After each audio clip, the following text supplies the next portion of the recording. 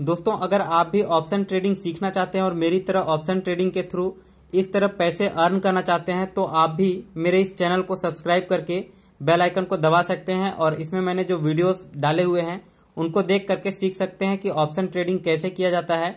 और इसका मैं आपको डिटेल दिखा देता हूँ। मैं यहाँ पर जो रिटर्न आपको दिखा रहा हूँ, सोलह सौ रुपये जो रिटर्न हुआ है, इसमें मैंने कितना इन्वेस्ट किया है, ये दिखा देता हूँ।